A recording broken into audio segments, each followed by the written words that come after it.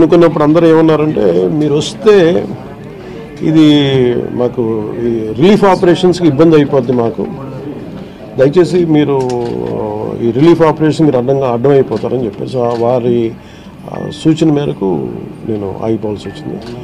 ఇప్పుడు కూడా ఒకసారి వాళ్ళ నిర్ణయం తీసుకొని వాళ్ళు టేక్ ఎక్కాలి వెళ్తే అది సహాయపడాలి కానీ మళ్ళీ అది మళ్ళీ ఇంకొక కేయాటిక్ మీకు తెలుసు అందుకని దాన్ని దాన్ని దృష్టిలో పెట్టుకుని కొంచెం ఆలోచిస్తా తటపాయిస్తున్నాను అంతే విషయం లేదు కొంచెం ఇబ్బంది లేదంటే ముందు మెయిన్ అధికారులు పాపం గత డెబ్బై రెండు గంటల నుంచి వాళ్ళు నలిగిపోతాను నిద్రాహారాలు లేకుండా. సో వాళ్ళని దృష్టిలో పెట్టుకొని మళ్ళీ నేను వెళ్ళి సహాయపడాలి కానీ మళ్ళీ అది అదనపు బరువు అయితే మళ్ళీ ఆ రెస్క్యూ ఆపరేషన్స్ ఇబ్బంది కలగకూడదని చెప్పి నేను దాన్ని దృష్టిలో పెట్టుకొని నేను స్వయంగా నేను పర్యవేక్షిస్తాను నాలుగు రోజులుగా పవన్ కళ్యాణ్ ఉప ముఖ్యమంత్రి రాలేదు ఎక్కడ రాలేదని చెప్పి విపక్షాలు ఆరోపణ చేస్తున్నాయి బాధితులను పట్టించుకోలేదని చెప్పేసి ఆరోపిస్తున్నాయి ఫిజికల్గా మీకు కనిపించడం పద్ధతి.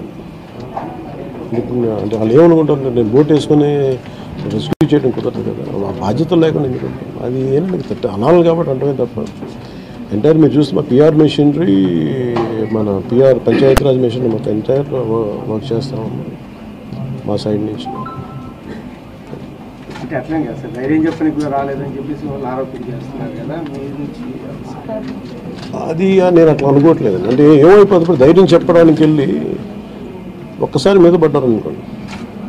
పరిస్థితులు ఎలా ఉన్నాయంటే ఇప్పుడు నేను మొన్న పింఛా దీనికి వెళ్ళాను. నేను వెళ్ళి సహాయ కార్యక్రమం అంటే నేను ఒక ప్రత్యేకమైన పరిస్థితిలో ఉన్నాను. అది మీరు అర్థం చేసుకోవాలి.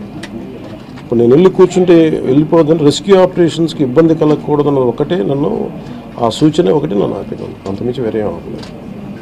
Thank you